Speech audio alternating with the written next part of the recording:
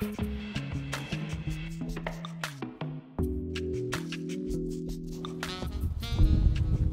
we go, here we go. A one mile road test in the New Balance Beacons coming right up. But first, we're gonna warm up in the Hoka Clifton 5s. And again, probably in two days, I'm gonna compare the Clifton 5s to the Beacons. It's coming, I know a lot of you are asking about that, and I've got a lot of thoughts between both of the shoes. So stay tuned for that. But first, let's go get a three mile warm up, three mile, not four, three mile warm up in, and then we're gonna rock and roll. We're gonna rock and roll, baby. One mile time trial, one mile time trial.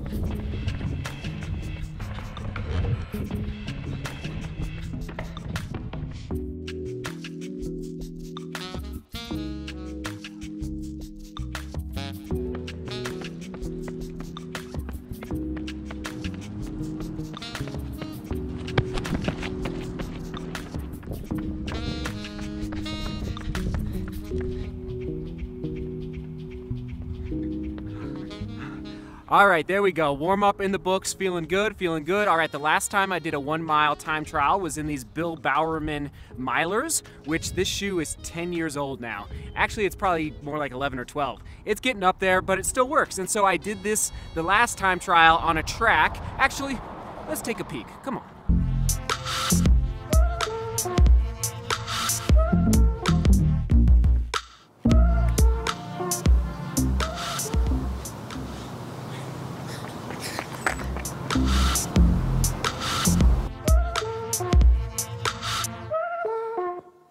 Failed to mention that my goal was to break five minutes.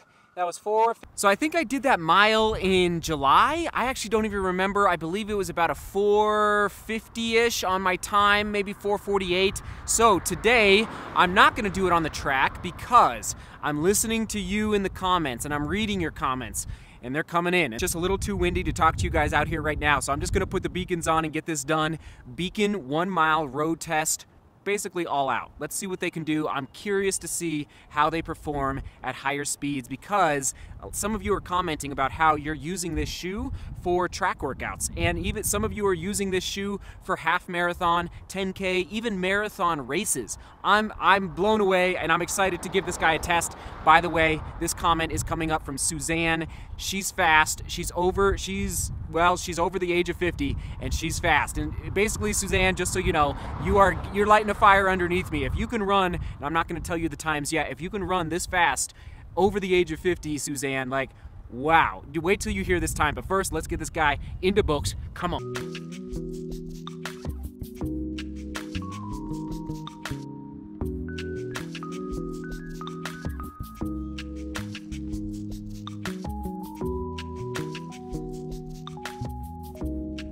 Sun came out, taking the arm warmers off for sure. Got a little hot out. Not hot, but just warm. It was cool on the warm up, but now I'm warm after the warm up.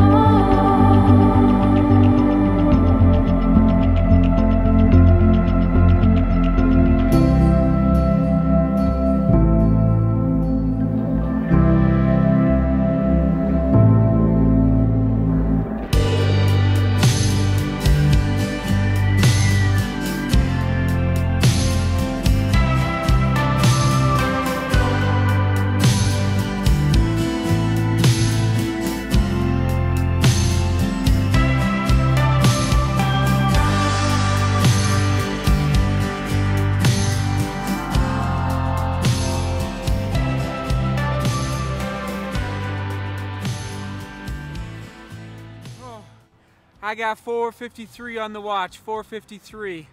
Oh man, oh, that hurt. Oh man, I gotta do some more speed work. I gotta do some more speed work. All right, my watch says 453.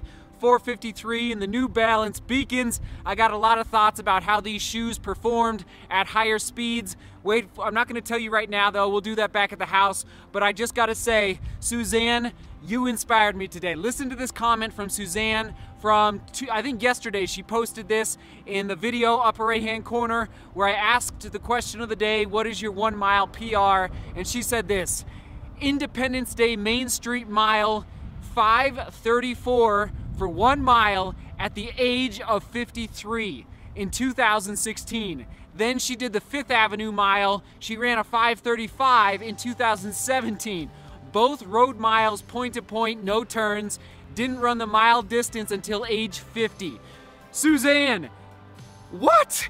If I can run a 535 when I'm 50, I'm gonna be incredibly happy. Incredi Congratulations, Suzanne. That's amazing. Anyway, I just had to communicate that to you guys. Like, keep dreaming, keep fighting.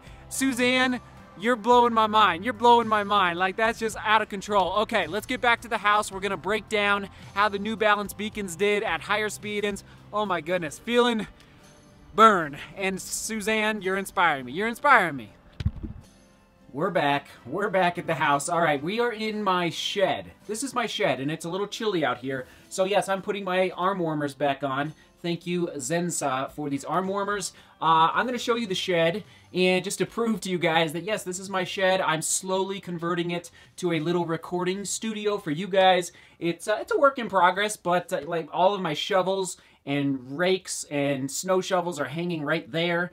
My sprinkler system box is right there. Anyway, I'll show it to you in a second. Stay tuned. But it's a little chilly out here. I do have a heater, uh, but anyway, that's why I'm putting, putting my arm warmers back on. All right, here we go. The New Balance Beacon. How did it perform? Ouch. The heater's a little hot. Hold on. Okay, we're good. Whew. Little toasty down there. All right. How did the New Balance Beacon perform at higher speeds? And again, I believe, and I said this a couple days ago, that I will use this shoe for three to eight mile recovery days, easy days. But so many of you have been commenting over the last really two to three weeks since I got this shoe that you are using this for track workouts, for tempo runs, and even for racing. I, somebody, a couple people commented they've worn this shoe for a marathon race, which is amazing. I don't think I will be doing that anytime soon. Let me explain. First of all, putting the shoe on my foot on the side of the road there, I felt as though I was able to lock my foot down pretty well with the lacing system. However, it is a knit upper, therefore I think it has quite a bit of flexibility in the upper, but I was cinching down the laces pretty good to get that lockdown feel for the higher speeds at the one mile distance.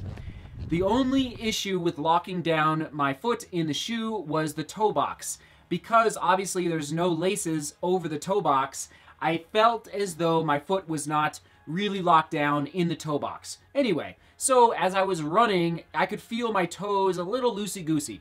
But that's not the major issue with wearing the New Balance Beacon at high speeds. The major issue is that the shoe is too flexible. It's too flexible. All right, I don't want to fully bend it because that'll break the foam, the fresh foam down a little bit too much. But you can see, like, it's really, really flexible. Therefore, I would not recommend wearing this shoe in a race or in a workout, uh, maybe in a tempo run. Actually, you know what? I think in a tempo run, this would be okay. So you want a little more rigidity in your shoes when you are going at high speeds, in my humble opinion, because it's you're you're going to be losing energy when your foot is pushing on. See, look at that. Look at that flex. Can you see that? I'll get a close up here in a second.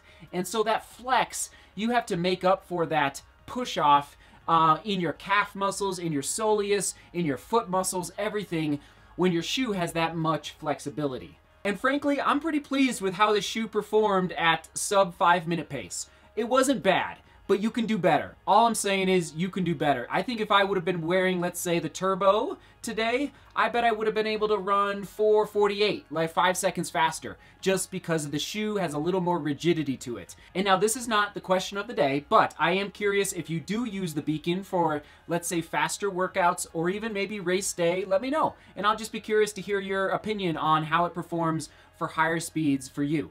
Okay, we're changing gears just a little bit, uh, even though today's video is about the beacon a lot.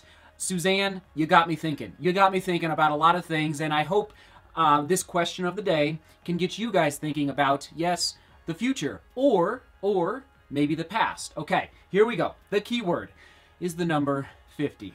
And the question of the day, when you, and listen, I know there's teenagers watching these videos, I know there's 60-year-olds uh, watching these videos, and I, I know that because you, you tell me in the comments. If you are younger than 50, what is your goal for your running experience when you turn 50?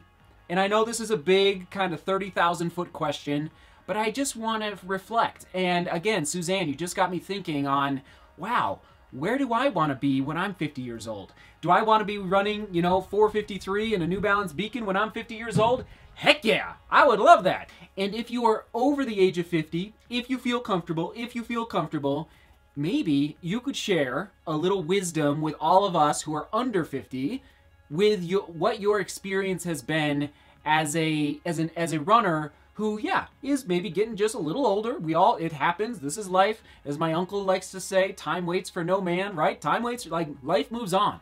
So if you're over 50, maybe you could share a little bit of advice, a little bit of your experience of being a runner uh, over the age of 50 and what that's like. And, like, what are you experiencing now? Um, you know, whether it's health related, whether it's racing related, whether it's training, whether it's mental, all of that would be amazing. And of course, we'll get the discussion going down in the comments. Whoo.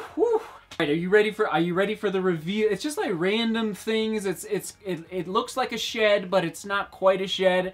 You might be a little shocked by this. This is a little behind the scenes. I'm excited to show you. Here we go. Taking the camera off the tripod. Ooh. Ready? Ready? You know this you know this corner, but how about everything else?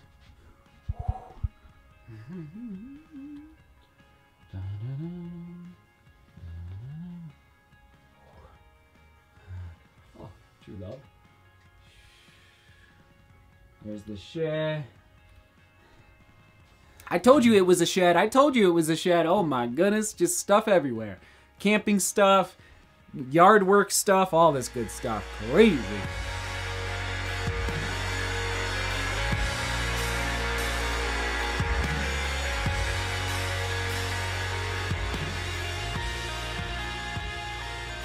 There you go, folks. There you go. Just a little teeny tiny bit of home maintenance on the body can go a long ways for staying injury free. And yes, 2019, it is just around the corner, and so that's a great goal for the new year is to stay injury free. As runners, we can struggle with that. We can, I do, you know, I, I know I do, PF, but it is getting better. It is getting better. All right, guys, that is it.